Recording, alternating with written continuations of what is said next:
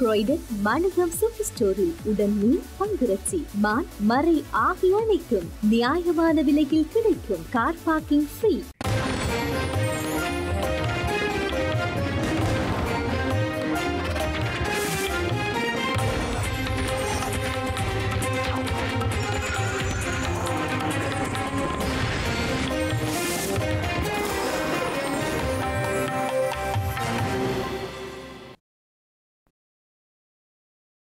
வணக்கம். இது ஐபிசி தமிழின் மதிய நேர பிரதான செய்திகள். முதலில் தலைப்புச் செய்திகள். தனிமைப்படுத்தப்பட்ட ஜோசப் ஸ்டாலின் உள்ளிட்ட குழுவினரை பார்வையிட சென்றவர்களுக்கு ஸ்ரீலங்கா முப்படையினரால் இடையூறு. கல்கிசை சிறுமி விவகாரம். இணையதளத்தின் உரிமையாளரது வங்கிக் கணக்கில் கோடிக்கணக்கில் பணம். வடக்கில் சீன ஆதிக்கம் தொடர்பில் போலி பிரசாரம். டக்ளஸ் குற்றச்சாட்டு. இந்தியர்களை அடக்கும் தேச துரோக வழக்குகள் தேவையா என உச்சநீதிமன்றம் கேள்வி. அமெரிக்க படையினருக்கு உதவிய ஆப்கானிஸ்தானியர்கள் குறித்து அமெரிக்காவில் ஆய்வு இனி விரிவான செய்திகள்.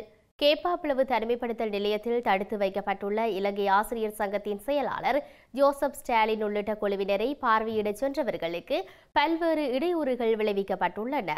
இலங்கை ஆசிரியர் சங்கத்தின் தலைவர் உள்ளிட்ட குழுவினர் அங்கு சென்ற நிலையில் கேப்பாப்பிளவு மற்றும் அதனை அண்டிய பகுதிகளில் ஸ்ரீலங்கா முப்படையினரால் பாதுகாப்பும் பலப்படுத்தப்பட்டிருந்தது. ஸ்ரீலங்கா அரசாங்கத்திற்கு எதிராக ஆர்ப்பாட்டத்தில் ஈடுபட்ட இலங்கை ஆசிய சங்கத்தின் செயலாளர் ஜோசப் ஸ்டாலின் உள்ளிட்டவர்கள் கைது செய்யப்பட்டு பிணையில் விடுதலை செய்யப்பட்ட பின்னர் கேப்பாப்பிலவில் உள்ள தனிமைப்படுத்தல் நிலையத்தில் தனிமைப்படுத்தப்பட்டுள்ளனர். அவர்களது முறையற்ற தனிமைப்படுத்தல் செயற்பாடுகளை கண்டித்து முல்லைத்தீவு நகரம் மற்றும் கேப்பாப்புலவை விமானப்படை தளத்திற்கு முன்னால் இன்று ஆர்ப்பாட்டங்கள் நடைபெற உள்ளதாக காவல்துறையினருக்கு ரகசிய தகவல் கிடைத்துள்ளது. இதனையடுத்து முல்லைத்தீவு நகர் மற்றும் கேப்பாப்புலவு விமானப்படை முகாம் உள்ளிட்ட பகுதிகளில் பாதுகாப்பு பலப்படுத்தப்பட்டிருந்தது. கேப்பாப்புலவு விமானப்படை தளத்திற்கு முன்னால் காவல்துறையினர் விமானப்படையினர் இராணுவத்தினர் குவிக்கப்பட்டு கண்காணிப்பும் பாதுகாப்பும் தீவிரப்படுத்தப்பட்டிருந்தது. இதேவேளை கேப்பாப்புலவு விமானப்படை தனிமைப்படுத்தல் முகாமிற்கு இலங்கை ஆசிரியர் சங்க தலைவர் உள்ளிட்டவர்கள் செல்வதற்கு வீதிகளில் தடைகள் ஏற்படுத்தப்பட்டதாக அவர்கள் தெரிவிக்கின்றனர்.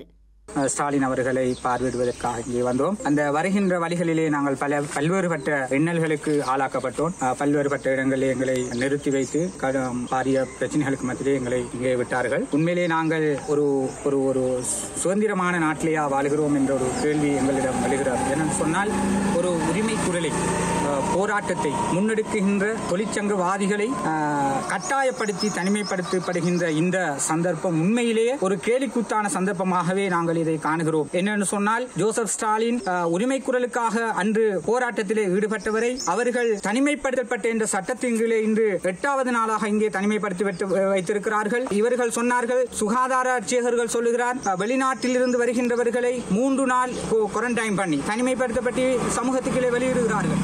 ஏழு நாள் தனிமைப்படுத்தி சமூகத்திலே வெளியிடுகிறார் ஆனால் ஜோசப் ஸ்டாலின் இன்று எட்டாவது நாளாக தனிமைப்படுத்தலிலே கட்டாய தனிமைப்படுத்துதலே அரசாங்கம் ஈடுபடுத்தியிருக்கிறது அதே போன்று அவர் இன்றைக்கு நான்காவது நாளாக அதாவது நெகட்டிவ் அதாவது பிசிஆர் பரீட்சணை செய்த போது அவருக்கு நெகட்டிவ் காணப்படுகிறது இருந்த போதும் அவரை இன்னும் வெளியிடவில்லை. நாங்கள் அரசாங்கத்திடம் சொல்லுகின்றோம் நீங்கள் இவ்வாறான கீழ்த்தரமான செயற்பாடுகளை செய்ய வேண்டாம். நீங்க உடனடியாக ஜோசப் ஸ்டாலின் அவர்களை தனிமைப்படுத்தலில் இருந்து சமூகத்துக்கு அவரை வெளியிட வேண்டும் என்று நாங்கள் இந்த இடத்திலே கேட்டுக்கொள்கிறோம். குறித்த குழுவினர் தனிமைப்படுத்தப்பட்டுள்ள ஜோசப் ஸ்டாலின் உள்ளிட்டவர்களுக்கு உணவுப் பொதிகளை வழங்கியதுடன் அவர்களது உடல்நலம் குறித்தும் விசாரித்து சென்றுள்ளனர். இலங்கையில் இணையவழி கற்பித்தல் செயற்பாடுகளில் இருந்து விலகி ஆசிரியர்கள் முன்னெடுத்துள்ள வேலைநிறுத்த போராட்டம் மூன்றாவது நாளாக இன்றும் தொடர்கின்றது. இந்த நிலையில் தங்களுடைய கோரிக்கைகளுக்கு உரிய தீர்வு வழங்கப்படாத பட்சத்தில் தொடர்ந்தும் வேலைநிறுத்தத்தில் ஈடுபட உள்ளதாக ஆசிரியர் சர்வீஸ் சங்கம் தெரிவித்துள்ளது. இலங்கை ஆசிரியர் சங்கத்தின் பொதுச் செயலாளர் ஜோசப் ஸ்டாலின் உள்ளிட்டோரின் சட்டவிரோத கைது கல்வியில் இராணுவமயமாக்கல் கல்வியை தனியார் மயப்படுத்துதல் ஆகியவற்றுக்கு எதிராக நாளை வெள்ளிக்கிழமை காலை பத்து மணிக்கு ஜாழ்ப்பாணம் பேருந்து நிலையத்திற்கு முன்பாக கவனியிருப்பு போராட்டம் ஒன்று இலங்கை ஆசிரியர் சங்கத்தினரால் நடத்தப்பட உள்ளது. அரசின் அடக்குமுறை மற்றும் சர்வதிகார போக்குக்கு எதிராக இந்த போராட்டத்துக்கு ஆர்வமுடைய அனைவரும் கலந்து கொள்ளுமாறு ஏற்பாட்டாளர்கள் அழைப்பு விடுத்துள்ளனர். வடக்கில் சீனாவின் ஆதிக்கம் அதிகரித்து வருவதாக அரசியல்வாதிகள் பொய் பிரச்சாரங்களை மேற்கொண்டு வருவதாக கடல் தொழில் அமைச்சர் டக்ளஸ் தேவானந்தா குறிப்பிட்டுள்ளார். நாட்டு மக்களின் நலன்களை பாதுகாத வகையில் கிடைக்கப்பெறுகின்ற முதலீடு மற்றும் தொழில்நுட்ப வளங்களை கொண்டு கொண்டு மன்னிக்கவும் தொழில்நுட்ப வளங்களை பெற்றுக்கொள்வதே தமது கடமை எனவும் அவர் சுட்டிக்காட்டியுள்ளார். இலங்கையில் சுகாதார தரப்பினர் மற்றும் முப்படையினரால் இருநூற்றி எழுபது கொரோனா தடுப்பூசி நிலையங்கள் செயற்படுவதாக ஸ்ரீலங்கா ராணுவ தளபதி ஜெனரல் சகேந்திர சில்வா தெரிவித்துள்ளார். அதேவேளை இலங்கையில் நேற்றைய தினம் மூன்று லட்சத்து எண்பத்தி நான்காயிரத்துக்கும் அதிகமானோருக்கு கொரோனா தடுப்பூசி செலுத்தப்பட்டுள்ளது. இலங்கையில் கொரோனா தடுப்பூசி செலுத்தும் நடவடிக்கைகள் அரசாங்கத்தினால் விரைவுபடுத்தப்பட்டு முன்னெடுக்கப்பட்டு வருகின்றது. அதன்படி இலங்கையில் இருநூற்றி எழுபது கொரோனா தடுப்பூசி நிலையங்கள் செயற்படுவதாக ஸ்ரீலங்கா ராணுவ தளபதி ஜெனரல் சவேந்திர சில்வா தெரிவித்துள்ளார். தேசிய தடுப்பூசி திட்டத்தின் கீழ் அஸ்ட்ராசெனேகா ஃபைசர் சினோஃபா மற்றும் ஸ்புட்னிவி தடுப்பூசிகள் மக்களுக்கு வழங்கப்பட்டு வருகின்றன. இந்த நிலையில் இலங்கையில் நேற்றைய தினத்தில் மாத்திரம் மூன்று லட்சத்து எண்பத்தி நான்காயிரத்து எழுநூற்றி அறுபத்தி மூன்று பேருக்கு கொரோனா தடுப்பூசி கூறப்பட்டுள்ளது அதன் அடிப்படையில் ஒரு நாளில் செலுத்தப்பட்ட அதிகளவிலான தடுப்பூசிகள் இதுவாகும் என குறிப்பிடப்பட்டுள்ளது. இதேவேளை இலங்கையில் இதுவரை நாற்பத்தி எட்டு லட்சத்து எழுபத்தி மூவாயிரத்து நூற்றி இருபத்தி மூன்று பேருக்கு கொரோனா தடுப்பூசியை முதலாவது கட்டமாக போடப்பட்டுள்ளதாக தொற்று நோயல் பிரிவு குறிப்பிட்டுள்ளது. மேல் மாகாணத்தில் முப்பது வயதுக்கு மேற்பட்டோர்களுக்கு சினோஃபார்ம் தடுப்பூசியின் முதல் தொகுதியை பெற்றுக் கொடுக்கும் செயற்திட்டம் இன்றைய தினம் விகார மகாதேவி பூங்காவின் திறந்த அரங்கில் முன்னெடுக்கப்பட்டுள்ளது. அத்துடன் ஆசிரியர் அதிபர் கல்விசாரா ஊழியர்கள் என ஜாலில் எழுபத்தி இரண்டு வீதமானவர்களுக்கு சினோஃபார்ம் தடுப்பூசி செலுத்தப்பட்டுள்ளது. இதேவேளை இலங்கையில் தனிமைப்படுத்தலுக்கு உட்படுத்தப்பட்டு இருந்த மேலும் ஒரு கிராம சேவகர் பிரிவு தனிமைப்படுத்தலிலிருந்து விடுவிக்கப்பட்டுள்ளது. மட்டக்களப்பு மாவட்டத்தின் மண்முனை காவல்துறை பிரிவுக்குட்பட்ட மாமாங்கம் பகுதி தனிமைப்படுத்தலிலிருந்து விடுவிக்கப்பட்டுள்ளதாக ராணுவ தளபதி ஜெனரல் சவீந்திர சில்வா தெரிவித்துள்ளார். மேலும் ஜாழ்ப்பாணம் வல்வெட்டித்துறை ஆத்திகோவிலடி பகுதி தனிமைப்படுத்தல் சட்டத்தின் கீழ் முடக்கப்பட்டுள்ளது. அந்த பகுதியில் கடந்த இரண்டு நாட்களில் நாற்பத்தி எட்டு பேருக்கு கொரோனா வைரஸ் தொற்று உள்ளமை கண்டறியப்பட்டுள்ளது. அதனையடுத்து பருத்தித்துறை சுகாதார மருத்துவ அதிகாரிகளினால் யாழ்ப்பாணம் மாவட்ட செயலாளருக்கும் வடமாகாண சுகாதார சேவைகள் பணிப்பாளருக்கும் நேற்றிரவு முன்வைக்கப்பட்ட கோரிக்கைக்கு அமைய உடனடியாக தனிமைப்படுத்தப்பட்டுள்ளது. வெல்வெட்டித்துறை வடமேற்கு ஜே முன்னூற்றி எண்பத்தி எட்டு கிராம அலுவலகர் பிரிவே இவ்வாறு முடக்கப்பட்டுள்ளது. அந்த கிராமத்தில் முன்னூற்றி பத்து குடும்பங்களைச் சேர்ந்த தொள்ளாயிரத்து நாற்பது பேர் வசிக்கின்றார்கள். அத்துடன் பருத்தித்துறை முதலாம் இரண்டாம் மற்றும் மூன்றாம் குறுக்கு தெருக்களிலும் சில பகுதிகள் முடக்கப்பட்டுள்ளன. இதேவேளை இலங்கையில் நேற்றைய தினம் ஆயிரத்து ஐநூற்றி நாற்பது பேர் கொரோனா தொற்றுக்குள்ளான நிலையில் முப்பத்தி ஏழு பேர் உயிரிழந்துள்ளமையும் குறிப்பிடத்தக்கது. கொலம்பின் புறநகர் பகுதியான கல்கிசி பிரதேசத்தில் பதினைந்து வயது சிறுமியொருவரை பாலியல் தொழிலுக்கு ஈடுபடுத்துவதற்கான விளம்பரத்தை வெளியிட்ட இணையதளத்தின் உரிமையாளரது. வங்கிக் கணக்கில் ஐந்து கோடி ரூபாய்க்கும் அதிகமான பணம் இருந்தமை கண்டறியப்பட்டுள்ளது. சட்டவிரோத சொத்து மற்றும் பணம் தொடர்பில் விசாரணை நடத்தும் காவல்துறை பிரிவினரால் நடத்தப்பட்ட விசாரணைகளினூடாக இந்த விடயம் கண்டறியப்பட்டுள்ளது. இணையதள உரிமையாளரின் வங்கிக் கணக்கில் ஐந்து கோடிக்கும் அதிகமான தொகை காணப்பட்டதுடன் அவரது நிலையான வங்கிக் கணக்கில் பன்னிரண்டாயிரத்து நூற்று தொன்னூற்றி ஒன்பது அமெரிக்க டாலர் வைப்பிலிடப்பட்டுள்ளது இதனை அடுத்து நீதிமன்ற உத்தரவின் பேரில் அவரது அனைத்து வங்கிக் கணக்குகளும் முடக்கப்பட்டுள்ளதாக காவல்துறையினர் தெரிவிக்கின்றனர். இதேவேளை குறித்த சிறுமி மற்றும் ஒரு சந்தேக நபரான ராஜீவ் ஏகநாத் ஆகியோரால் பயன்படுத்தப்பட்ட கைத்தொலைபேசிகளின் அழைப்பு விவரங்கள் அடங்கிய ஒரு வருட கால அறிக்கை நீதிமன்றில் ஒப்படைக்கப்பட்டுள்ளது. குறித்த அறிக்கை கொழும்பு மேலதிக நீதவான் லோஞ்சன அபய விக்ரமவிடம் ஸ்ரீலங்கா காவல்துறையின் சிறுவர் மற்றும் மகளிர் துஷ்பிரயோக தடுப்பு பணியகத்தால் கையளிக்கப்பட்டுள்ளது. பல தொலைபேசி நிறுவனங்களிலிருந்து பெறப்பட்ட பகுப்பாய்வு அறிக்கைகளின் இரண்டு கோப்புகள் புதன்கிழமை நீதிமன்றத்தில் ஒப்படைக்கப்பட்டுள்ளதாக தெரிவிக்கப்பட்டுள்ளது. பாதிக்கப்பட்ட சிறுமி மற்றும் ராஜீவ் ஜெயநாத் ஆகியோரின் கைத்தொலைபேசிகளின் ஊடாக ஜூன் முதலாம் திகதி முதல் இரண்டாயிரத்தி இருபத்தி ஒன்று ஜூன் பத்தொன்பதாம் திகதி வரை மேற்கொள்ளப்பட்ட அனைத்து தொலைபேசி அழைப்புகளினதும் விவரங்கள் இந்த பகுப்பாய்வு அறிக்கைகளில் உள்ளடக்கப்பட்டுள்ளதாக குறிப்பிடப்பட்டுள்ளது. பதினைந்து வயது சிறுமி பதினைந்தாயிரம் முதல் முப்பதாயிரம் ரூபாய் வரையிலான விலைகளுக்கு மூன்று மாத கால பகுதியில் இணையதளத்தில் வெளியிடப்பட்ட விளம்பரங்கள் மூலம் பாலியல் தேவைகளுக்காக மூன்றாம் தரப்பினருக்கு விற்பனை செய்யப்பட்டுள்ளார். பாதிக்கப்பட்டவரின் கைத்தொலைபேசியில் இருந்து பெறப்பட்ட தரவுகளின் அடிப்படையில் சிறுவர் மற்றும் மகளிர் பணியகம் இதுவரை நாற்பத்தி ஒரு சந்தேக நபர்களை கைது செய்துள்ளனர். இதேவேளை நாவலப்பிட்டிய பகுதியைச் சேர்ந்த பதிமூன்று வயது சிறுமி ஒருவர் பாலியல் துஷ்பிரயோகத்திற்கு உட்படுத்தப்பட்டுள்ளார். சம்பவம் தொடர்பில் அவரது தந்தை உட்பட ஐந்து பேர் கைது செய்யப்பட்டுள்ளதாக ஸ்ரீலங்கா காவல்துறை ஊடக பேச்சாளரும் சிரேஷ்ட பிரதி காவல்துறை மா அதிபருமான அஜித் ரோஹன தெரிவித்துள்ளார். சந்தேக நபர்கள் விளக்கமறியலில் வைக்கப்பட்டுள்ள நிலையில் சம்பவம் தொடர்பில் மேலும் ஆறு பேர் கைது செய்யப்பட்டுள்ளதாக அவர் மேலும் தெரிவித்துள்ளார். ஸ்ரீலங்காவில் பரபரப்பை ஏற்படுத்தியுள்ள பதினைந்து வயது சிறுமி இளையதளம் ஊடாக விற்பனை செய்து துஷ்பிரயோகத்துக்கு உள்ளாக்கப்பட்ட சம்பவம் தொடர்பில் ஊழல் எதிர்ப்பு முன்னணியின் தலைவரும் தென்னிலங்கையைச் சேர்ந்த பிரபல பௌத்த தேரருமான உலபனே சுமங்கல தேரர் குற்றப்புலனாய்வு பிரிவில் முறைப்பாடு செய்துள்ளார். தனது பெயர் உள்ளிட்ட ஸ்ரீலங்காவில் பிரசித்தமான பௌத்த தேரர்களின் பெயர்கள் இந்த துஷ்பிரயோக சம்பத்தின் சம்பவத்தின் சந்தேக நபர்களின் பட்டியலில் சேர்க்கப்பட்டிருப்பதாக அவர் கூறுகின்றார்.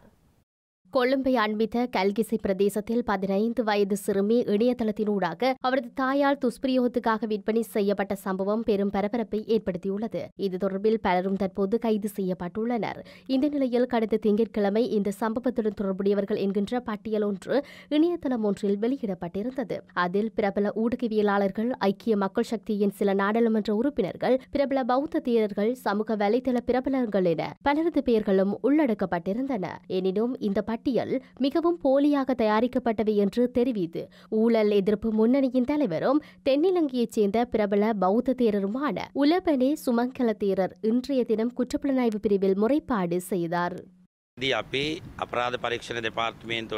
கடந்த சில நாட்களுக்கு முன்னர் நாட்டின் பிரச்சனைகளை பேசுகின்ற மற்றும் அரசாங்கத்தை விமர்சிக்கின்ற பௌத்த தேர்களின் பெயர்களை உள்ளடக்கிய ஒரு இணையதளமூடாக போலி செய்தி ஒன்றை வெளியிட்டிருக்கின்றனர். எங்களது பெயர்களை பதினைந்து வயது சிறுமி பாலியல் வன்கொடுமைக்கு உள்ளாக்கப்பட்ட சந்தேக நபர்களின் பட்டியலில் சேர்த்து அந்த செய்தியை வெளியிட்டுள்ளனர். அதற்கு எதிராக சட்ட ரீதியாக நடவடிக்கைகளை எடுக்கும்படி இன்றைய தினம் குற்றப்புலனாய்வு பிரிவின் முறைப்பாடு ஒன்றினை பதிவு செய்திருக்கின்றோம். ஸ்ரீலங்கா அரசாங்கத்திற்கு எதிராக குரல் எழுப்புபவர்களை அடக்குமுறையின் கீழ் ஆட்கொள்வதற்கான அரசாங்கத்தினர் எடுக்கின்ற முயற்சிகளை பார்க்கின்றோம். ராஜபக்ச குடும்பத்தில் உள்ள பெண் ஆடியை அணிந்திருக்கின்ற ஒருவரே இதனை செய்கின்றார். ஸ்ரீலங்காவில் இந்த இணையதள செயற்பாட்டால் அதன் பதிவு வெளிநாட்டில் இருக்கின்றது என்பதையும் கண்டுபிடித்துள்ளோம். எமது சேர் பூசி எமது குரல்களை கட்டிவிட முடியாது. எமது சரிதையை கேவலப்படுத்தும் அளவுக்கு நாங்கள் இதுவரை நடந்து கொள்ளவில்லை என்பதை நாட்டு மக்கள் அறிவார்கள். ஆஸ்திரேலியாவில் உயர்கல்வியை கேட்கும் இலங்கை மாணவர்கள் மீண்டும் அங்கு செல்வதற்கான வசதிகளை ஏற்படுத்தி கொடுக்குமாறு ஸ்ரீலங்கா அரசாங்கம் கோரிக்கை விடுத்துள்ளது. அத்துடன் அரசியல் பொருளாதார மற்றும் கடல்சார் துறைகளில் ஆஸ்திரேலியா மற்றும் இலங்கைக்கு இடையிலான உறவுகளை வலுப்படுத்துவது தொடர்பிலும் ஆலோசிக்கப்பட்டுள்ளது. ஆஸ்திரேலிய உயர்ஸ்தானிக டேவிட் கொலிகம் ஸ்ரீலங்கா வெளிவிவகார அமைச்சர் தினேஷ் குணவர்த்தனவிற்கும் இடையில் நேற்றைய தினம் வெளிவிவகார அமைச்சில் சந்திப்பு ஒன்று இடம்பெற்றுள்ளது. இதன்போது இரு நாடுகளுக்கும் இடையிலான உறவை பல துறைகளில் பலப்படுத்துவது குறித்து தினேஷ் குணவர்த்தன கலந்துரையாடினார். எதிர்கால கடல் அனர்த்தங்களால் ஏற்படும் சேதங்களை குறைப்பதற்காக இலங்கையின் கடல் பாதுகாப்பு அதிகாரிகளின் திறனை மேம்படுத்துவதற்கான வழிகள் மற்றும் வழிமுறைகள் குறித்தும் இரு தரப்பினரும் கலந்துரையாடியுள்ளனர். அத்துடன் எம்பி எக்ஸ்பிரஸ் பேர்ல் கப்பலில் ஏற்பட்ட தீ விபத்து காரணமாக ஏற்பட்ட கழிவுகளை சுத்திகரிப்பதற்காக ஆஸ்திரேலியா வழங்கிய ஒத்துழைப்புகளுக்கு ஸ்ரீலங்கா வெளிவிவகார அமைச்சர் தினேஷ் குணவர்த்தன நன்றி தெரிவித்துள்ளார். அரசியல் பொருளாதார மற்றும் கடல்சார் துறைகளில் இரு நாடுகளுக்கும் இடையில் இருதரப்பு ஆலோசனைகளை முன்னெடுப்பதற்கு முன்னுரிமை அளிக்க இரு தரப்பினரும் இணக்கம் வெளியிட்டுள்ளனர். மேலும் இலங்கையில் சர்வதேச மாணவர்கள் ஆஸ்திரேலியாவின் கல்வி தகுதியை பெறக்கூடிய கல்வி மையமாக இலங்கையை கூட்டாக ஊக்குவிப்பதற்கான ஆஸ்திரேலியாவின் ஆர்வத்தை உயர் ஸ்தானிகர் ஹோலித் உறுதிப்படுத்தியுள்ளார். இரு நாடுகளுக்கும் இடையிலான கல்வி ஒத்துழைப்பையும் தற்போதுள்ள கொரோனா தொடர்பான பயண கட்டுப்பாடுகளின் காரணமாக உயர்நிலை கற்கைகளையும் மேற்கொள்ளும் சர்வதேச மாணவர்கள் ஆஸ்திரேலியாவிற்கு மீள திரும்ப அனுமதிப்பதற்கான ஆஸ்திரேலிய அரசாங்கத்தின் தற்போதைய முயற்சிகளையும் ஸ்ரீலங்கா வெளிநாட்டு அமைச்சர் தினேஷ் குணவர்த்தன வரவேற்றுள்ளார். அரசு திணைக்கள அதிகாரிகளின் பொறுப்பற்ற செயற்பாடுகள் காரணமாக ஸ்ரீலங்கா அரசாங்கத்தின் நட்பெயருக்கு கலங்கம் ஏற்படுவதாக ஈழமக்கள் ஜனநாயக கட்சியின் நாடாளுமன்ற உறுப்பினர் குலசிங்கம் திலீபன் தெரிவித்துள்ளார். வவுனியா வடக்கு நெடுங்கேணி சேனைப்புலவு கிராமத்தில் சேதன பசலை உற்பத்தியை ஆரம்பித்து வைத்து உரையாற்றிய அவர் திணைக்களங்கள் ஊடாக விவசாயிகளுக்கு கிடைக்கும் ஆதரவு உரிய முறையில் கிடைக்கவில்லை என குறிப்பிட்டுள்ளார்.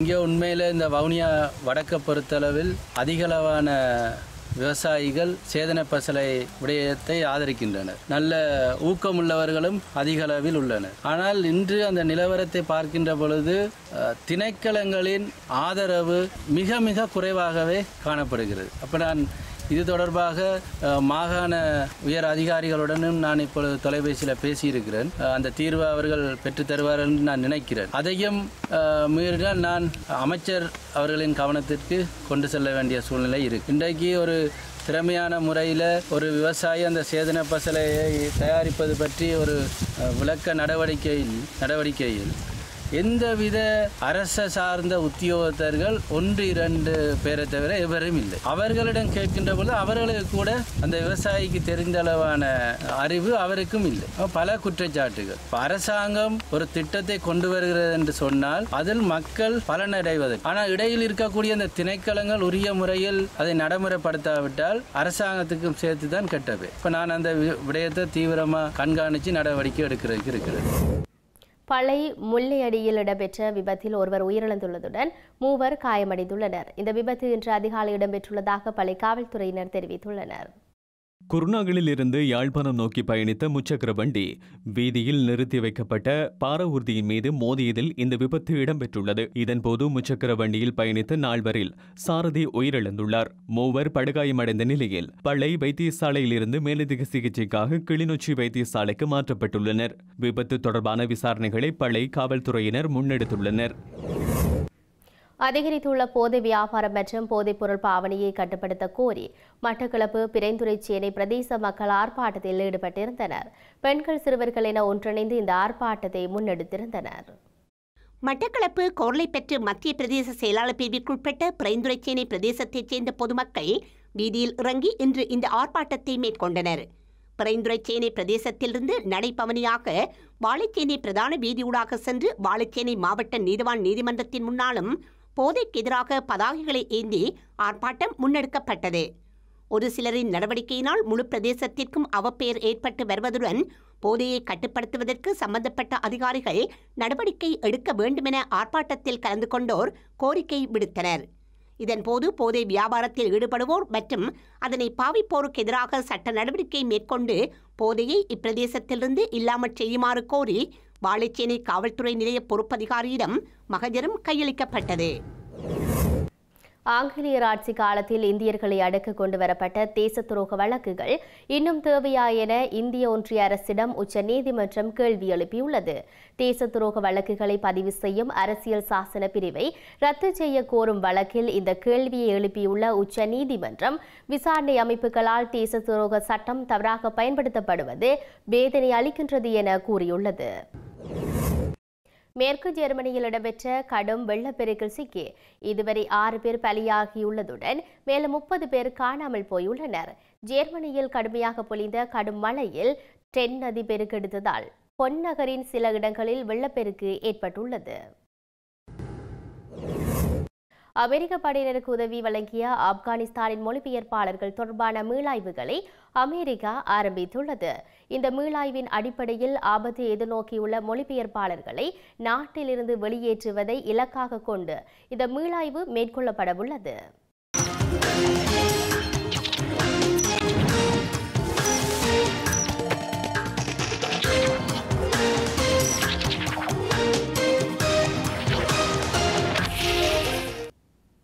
அடுத்த நாளுக்கான நாணய மாற்று விகிதம்.